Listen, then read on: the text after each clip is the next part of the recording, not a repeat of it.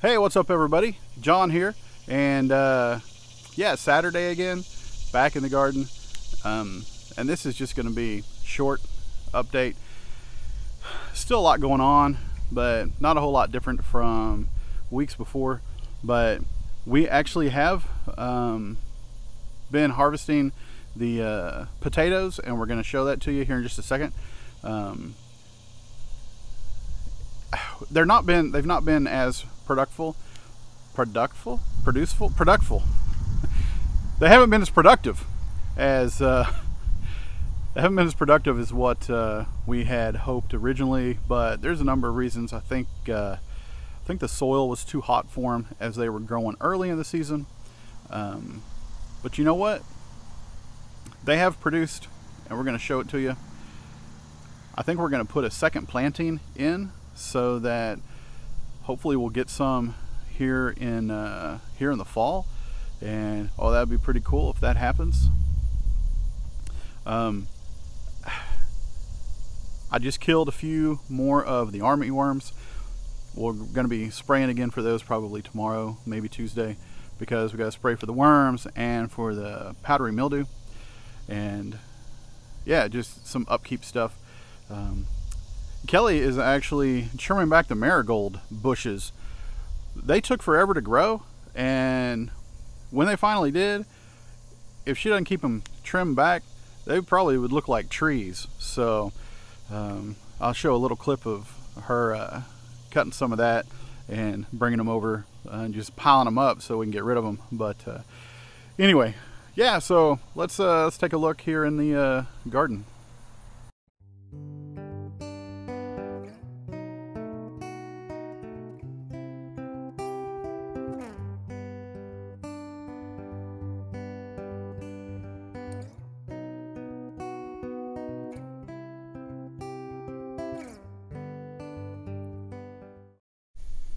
So here is uh, some of Kelly's marigold cuttings.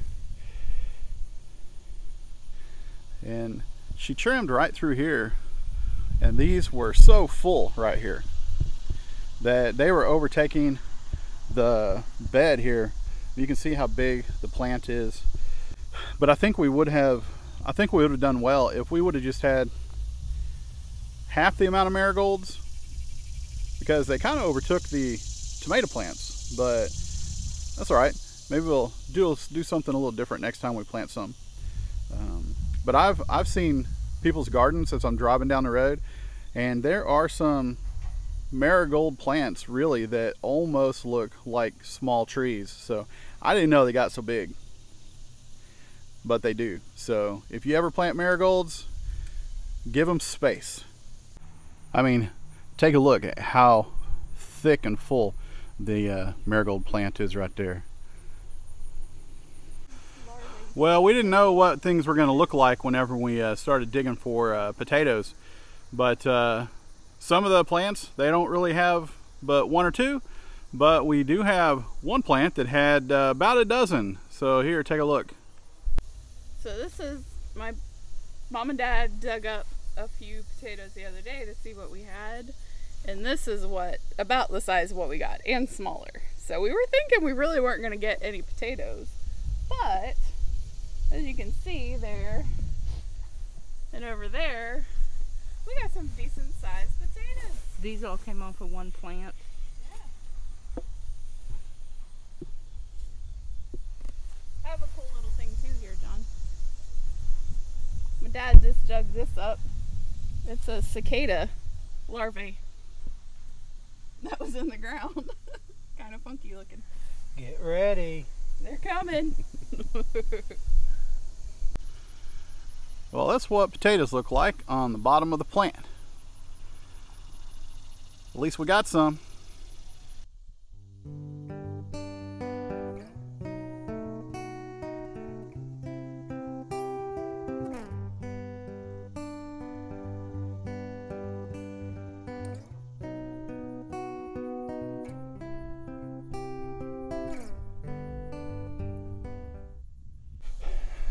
So the peas Kelly planted a couple weeks ago are really starting to look pretty good.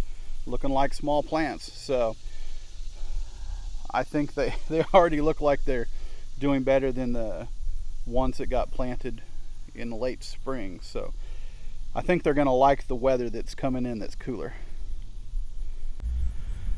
And the cucumber vines, they are still producing the burpless, but a much, much more slowly.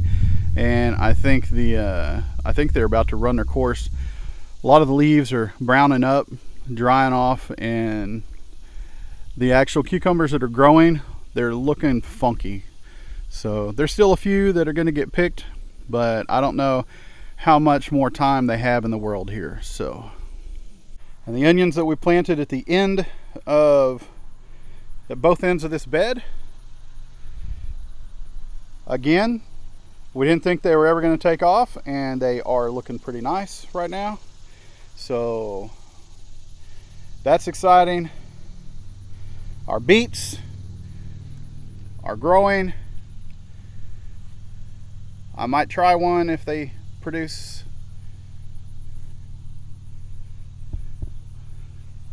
the green beans still looking good still a ton of beans that are growing gonna be picked look how much weight they actually they add a lot of weight to string and to the vine. Take a look how this board here, it had a little bow in it when we put it up, but all this weight here pulling on it it just putting a little strain on it. So it's just the way it goes. So I have seen where people will trellis their beans or add string or other things not just so they have an extra place to grow, but also that it helps support that weight because I've seen pictures and videos people have shown where they grow up so big and thick on their teepees and, and whatnot that the weight just winds up making everything slide down and then you got all this good growth that's just a pile of mess on the ground that you really have to pick through and so it was really helpful that we put the string up. So if you grow beans or anything else that vines, make sure you got a support system for them so that they don't uh, wind up in a mess on the ground. Hey, show me, show me how wide that uh, grape tomato plant is.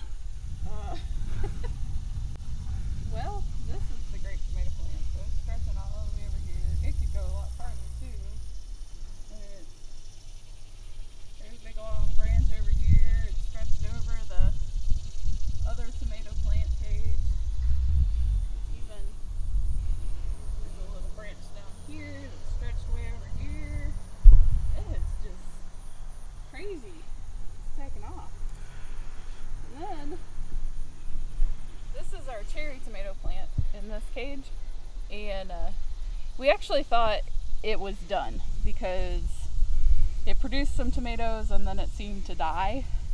But if you look down here, it started a new branch at the bottom. This is the branch from the cherry tomato. So we may end up with some more cherry tomatoes, which was good because they tasted really good. We liked those. We like them both. Great pan cherry,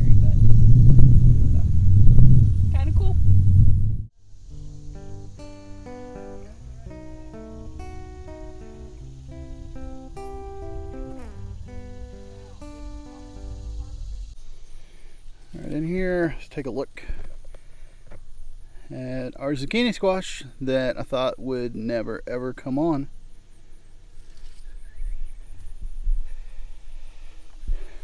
And then our lettuce is growing and it has grown rather quickly, but for some reason it is laying down.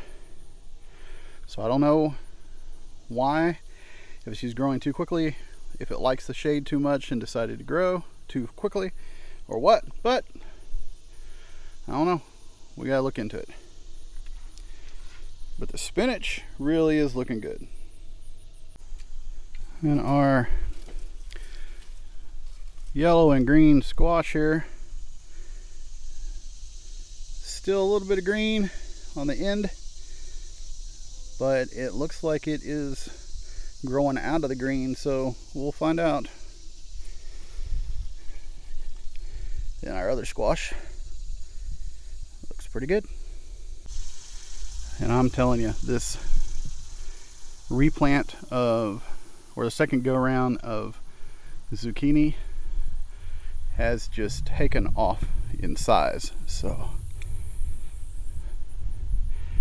I guess that's the difference between planting them actually in a bed and planting them in a pot because they are huge and there's a whole bunch of blossoms so I think we might get some fruit off these and our big fancy onions that are just amazing that we are super excited about that we had to get worms off of that didn't grow for weeks and weeks and weeks and weeks. And they are going to be beautiful by the time they are harvested. All right, guys, so I'm going to go ahead and end it. Like I said, there's just not a whole lot extra or new to report.